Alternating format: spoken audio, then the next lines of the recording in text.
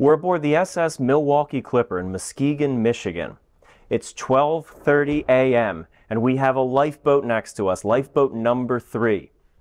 And we are going to go through the process of preparing the boat, swinging it out, and imagining ourselves lowering it. Then we're going to swing it back in just to get a good understanding of how these mechanisms worked. And these are some of the same mechanisms that you would find on many of the classic ocean liners of the turn of the century. And here we have a set of Welin davits. Ships like the Olympic class were outfitted in these, although these are a later model and a slight variant. On the Olympic class, they had double action Welin davits where the davits would swing out, launch a boat, and swing back in and pick up a second row of boats. Of course, those rows of boats weren't there. But these are single action, meaning there's only ever one boat on this set of davits. Single action davits like these are the same model as what were aboard the HMHS Britannic in 1914. These are a little later. These were built in 1940, 1941, but they are Welin davits. Now, interestingly, these Welin davits were made in Perth Amboy, New Jersey. In the early morning of April 15, 1912, the boats on the sinking Titanic were swung out to begin the evacuation. It took Titanic's deck crew of dozens of sailors around a half hour to get the ship's 16 boat stations prepared for lowering. There were some struggles along the way, but it was generally well executed. A boat drill was supposed to be conducted at sea the morning of the 14th, but it was cancelled due to weather. It's occasionally said that this left Titanic's crew ill prepared, but there was an often forgotten boat drill conducted while Titanic was in Southampton on the day of its departure. Two boats were swung out, lowered into the water, and rowed around the basin for a bit before the boats were brought back up. There's a full documentary on Titanic's Southampton boat drill being published on the Steam and Splendor network in collaboration with this video. The link for that is in the description below.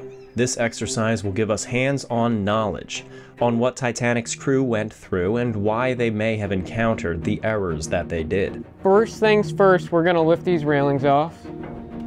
Aside from uncovering and stocking the boats with survival gear, we're doing every step of the lifeboat swing out process. Next we have to undo the keel locks there. So there's one on each side. Release the tie downs! Next, you crank the boat up. All right, start cranking up. Levi lifts the brake on the winch and Barrett begins cranking, lifting the boat slowly off the chocks. That should be good. All right, drop the brake. The winch has an electric motor that can be attached to do this job automatically, but to better simulate 1912 technology, we're doing this by hand and skipping the motor. Now take that key and start cranking it out. All right, set it to the bigger pulley. See how the pulleys are labeled out and in? The out and in. Put the pulley on the bigger one that says out.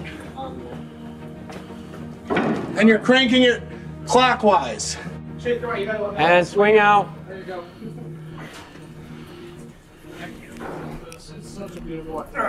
We each took a turn cranking to experience how difficult these davits are to move. Slower on four. Granted, these davits are now antiques and not regularly in use, and brand new davits on an operational ship would have been a bit easier. Good speed. Come on, this ship is sinking. Put your backs into it, ladies. We're level. How far out we up there? Slow on out. It took about 70 rotations of the crank to get the boat swung from the center line to the nearly fully out position. Now, to be clear, our team at HFX don't just animate and code all day. We have a firefighter, we have an Army veteran, we have a construction worker, and a government contractor. We're mostly in shape. And yet, this still was a challenge. Good speed. Get that upper wheel. Reaching the end of travel. It's getting easier. Oh, that's fun. Oh, yeah. All right, halt. Hold. It's about as far as they'd want to take it. Yeah, I wouldn't go any more than that. This is probably what we've done past. We cranked the davits out far enough that the boat was clear of the side of the ship, but not quite as far as the davits could possibly go. We sort of eyeballed it until the boat was clear enough that in theory it could be lowered. I mentioned this a few years ago in our annual Titanic live stream, but I noticed that the davits in the Titanic wreck were cranked out to varying degrees of extension. Some only swing out a little bit, others were nearly fully out. On different sides of the ship, the boats needed more clearance and others needed less due to the tilt of the vessel. That means that Titanic's crew eyeballed it just like us. You know what's really cool is that all you have to do is pull up that switch to lower it. yeah. The plugs now. Don't do it! Actually, don't even joke. That- That'll be so that much- takes The brake off. That'll be so much work to pull it back in. Gives you a really good idea what it looks like the night Imagine Titanic being in sank. a like this. Just looking down into this black abyss. I'll blame passengers for not wanting it now. More six stories. Yeah, a I lot. want do it at night. What, 90 feet up? They're probably only 30 to 40. If we were to proceed, what would the next step be? The next step would most likely be lowering the lifeboat to the deck level. This ladder rung here would allow people to work their way down and into the boat and climbing down before eventually being lowered to the surface of the water.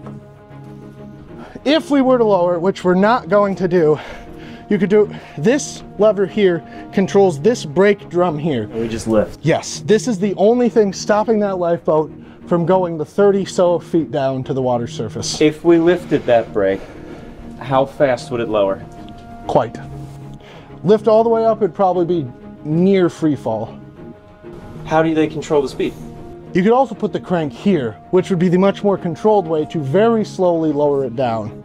Now I understand it is even more fun to swing it back in. Oh, truly. Smaller gear.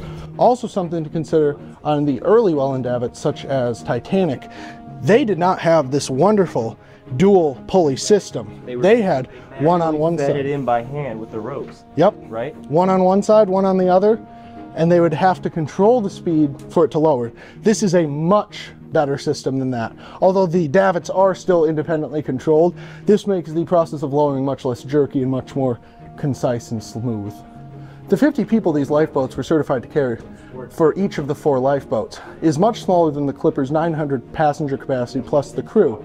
This was augmented by the life rafts that would have been in the area that has now been converted to seating areas on both sides. There were several rafts that would be stacked up in those areas. To reverse the direction of the davits, the crank is removed from the larger out gear and placed onto the smaller in gear. In is clockwise, Okay, so it's clockwise. both ways. That makes sense. Get ready to pull in and clockwise, rotate. Now we're cranking the davits back to their center line, more or less perfectly vertical. This lines the keel of the boat up with its chocks so that it can be rested back down on its cradle.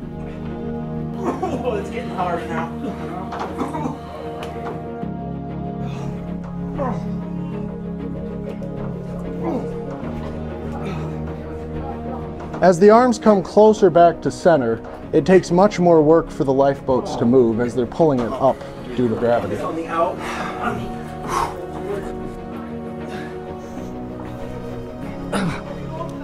Go faster!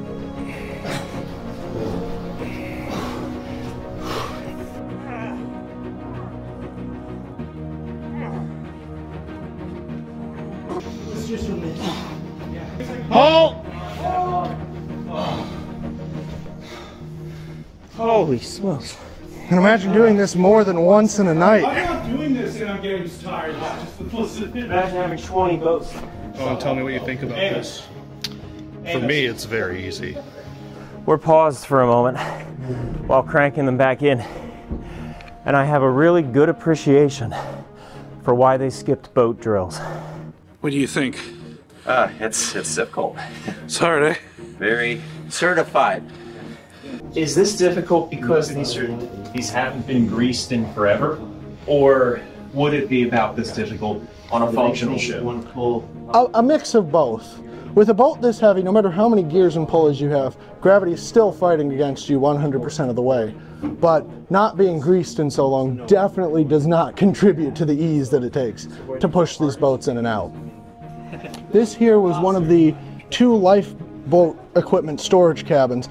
These Jacob's ladders here, which are the steel ladders, would have been in the boats as well as some of this other equipment, but this is also where they stored the oil, the signage, and if you look back there, a lot of the wrenches used to crank the boats in and out. All right, Ready on right, ready on left. swinging clockwise, ready, and rotate inward. Push.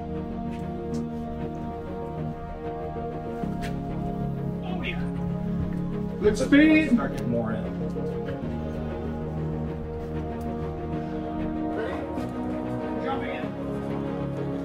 Here. All right, slow on right, slow on right. Slow on right. Slow on right. That's you guys.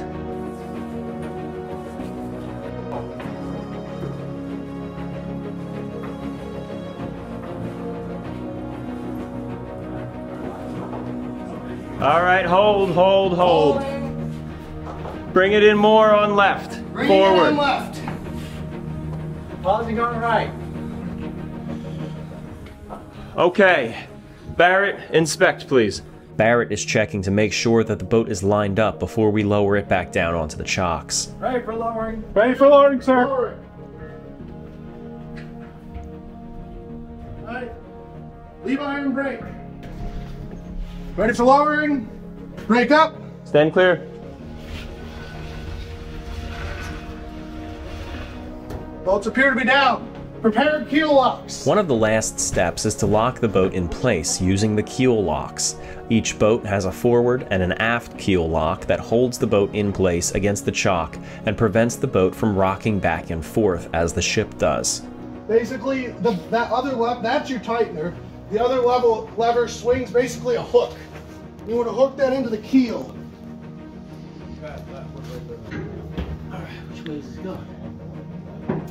Once it's been lashed back down, the boat is now fully stowed until it is needed again. The biggest difference is the winch. I think that was a lot of fun. I would hate to do it in the middle of the night, being cold and woken up and having to do about 20 of these, but it really gives you an example of how long it took to do each one. And also, if you, as the ship is listening, if you want to manually do it, the amount of calculation that the officer commanding each end would have to do. Well, keep in mind, uh, we're in a situation where our lives don't depend on it. So imagine that these are two of them. We did one. And imagine you have 20, 22 lifeboats that you have to get out to sea in such a quick amount of time. It's definitely impressive knowing that despite the fact that these, at least today, are the infamous davits of the Titanic, they were still installed in this ship nearly 30 years later.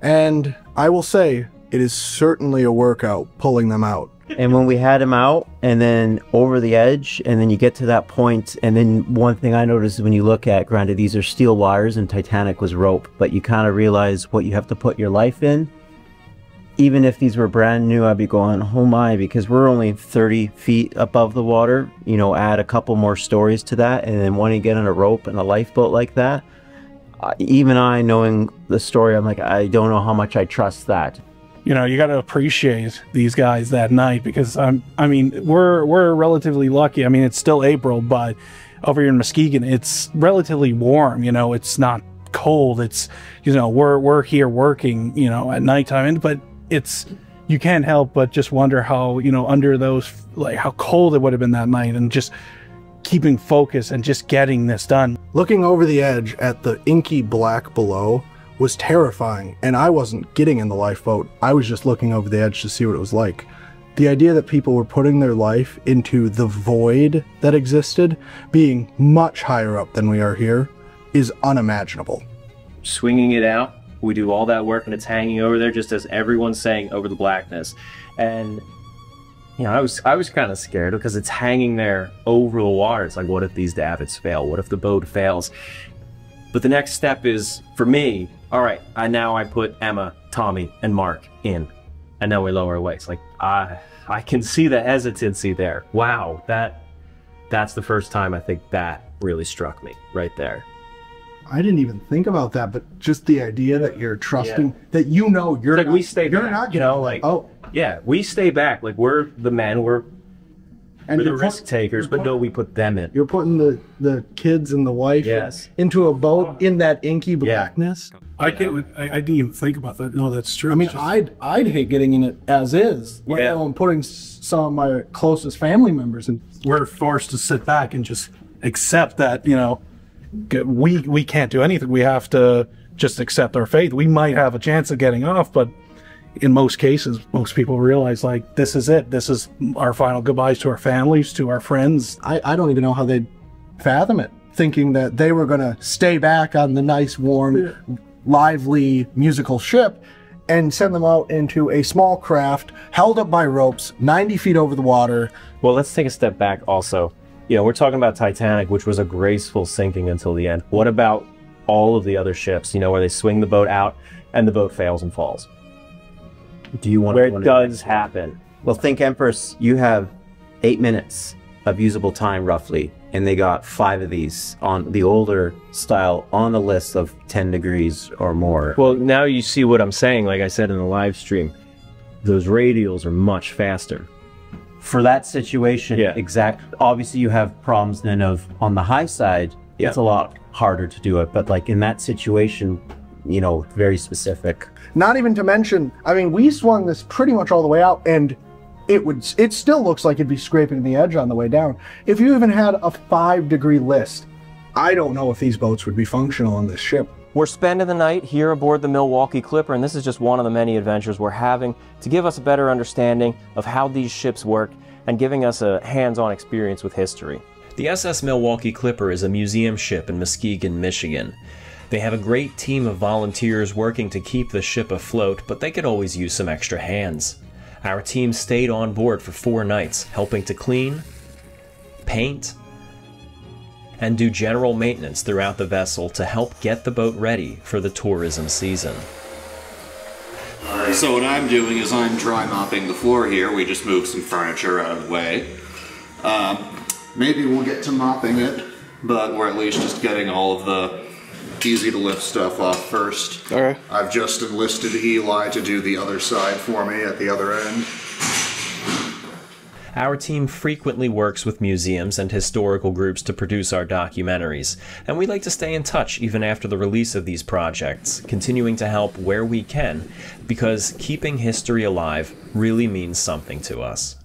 The ship is tucked away in a hidden part of the city, often overlooked by tourists and hard to find even by the people who are looking for it.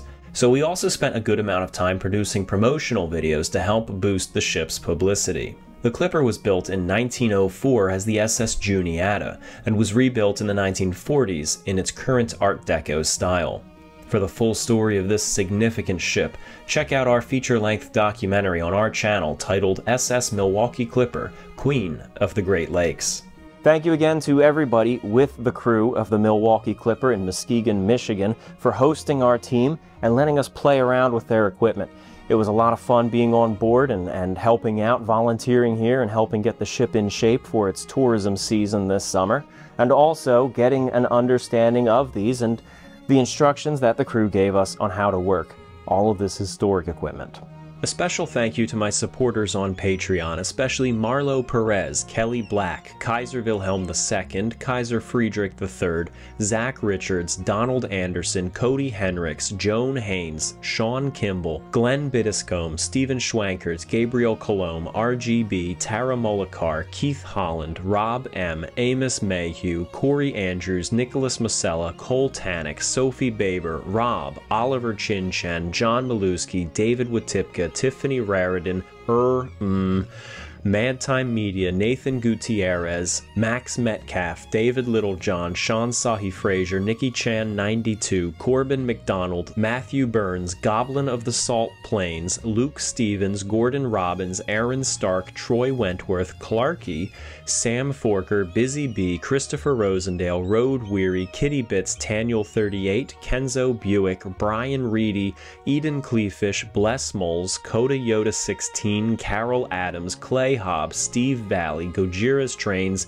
J.C. Hobbs, High Treason, The Peppermilk, Tristan White, Jason Stray, Chance Hudson, Robert Mayer III, Jordan Page, The Handler, Georgia Tsifa, Drew Shelton, Craven Moorhead, Jennifer and Sarah Vaughn, Ben Reese, Kenneth Hendricks, Aaron Prochaska, David Douglas, Alan and Modesta Charlone, Eric Castle, Lottie Cat, Gene Kennedy, and Pengu.